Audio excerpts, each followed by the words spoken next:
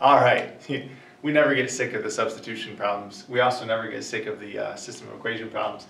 When I'm looking at this one, my mind, like I'm solving the system of equations, y equals 6x minus 1, y equals negative 2x plus 1.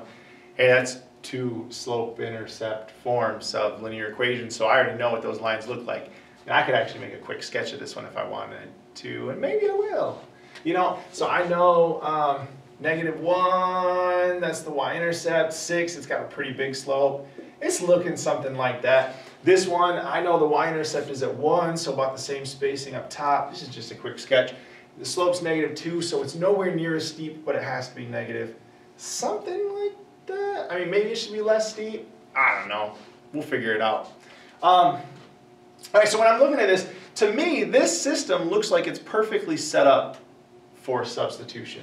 I mean, when you look at this, y equals, oh, so y is the same thing as that. And then we got y equals, oh, so y is the same thing as that. So y is this, and y is that. And all of my blue circles, y is the same thing as y, because we're finding that intersection where they cross, where the y's are the same. So this is the same thing as that.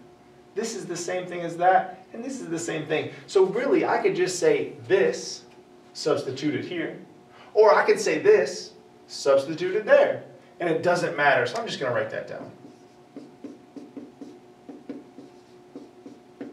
So we get negative 2x plus 1 equals 6x minus 1.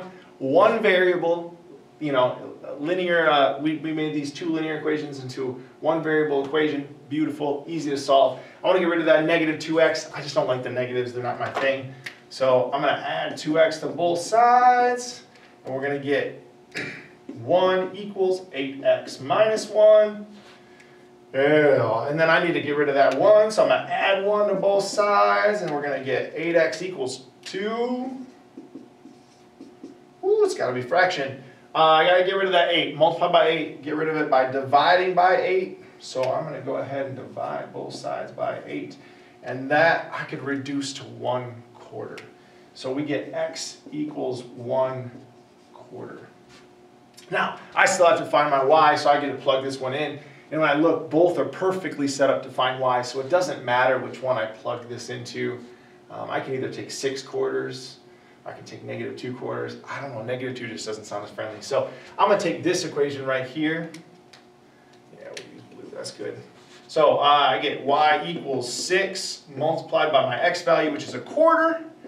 And then we have to subtract 1 still, 6x minus 1, 6x minus 1, 6 quarters. If I want to do that, I can. 6 over 4, that's really 1 and a half, so 1.5. I'm going to use 1.5 here. So I get like y equals, you know what, no, we'll, we'll do 3 halves, it'll be fun. So that's 1.5, 3 halves, same thing, minus 1. 1 is the same thing as 2 over 2. Check your fractions we get y equals 1 half.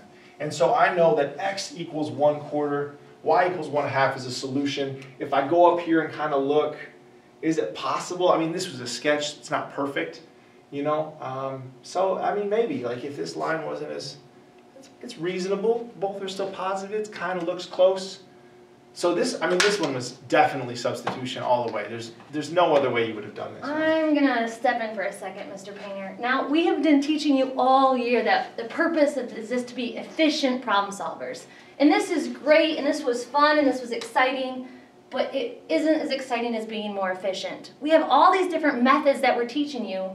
Is this the most efficient method? Yes, because I'm a machine. A machine that may not think about efficiency all the time. So I'm looking at this, and yes, it's ideal setup that I would use substitution, but I'm also remembering that in elimination, my coefficients have to be the same in order to eliminate. And I'm looking at this and thinking, wait a minute, my y coefficients are the same.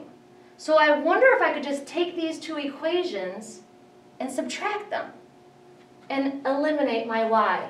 So I'm going to look at this, y equals 6x minus 1 and y equals negative 2x plus 1 and subtract these. Well, y minus y does eliminate the y. It gives me 0. 6x minus the negative 2. We have to be careful of that. That really means I'm going to have this 8x right here. and I have negative 1 minus 1, which gives me this. This is workable. This is easy for us to do. I'm trying to isolate x. I'm trying to get it by itself. Oh, that was brilliant because I can even see where, yeah, see, there it is. The 2 equals the 8x. The same thing. You are amazing. That's sweet. So remember, the purpose is to take all these methods that you learn and be efficient and apply them to new things, new concepts, new problems that you guys will have.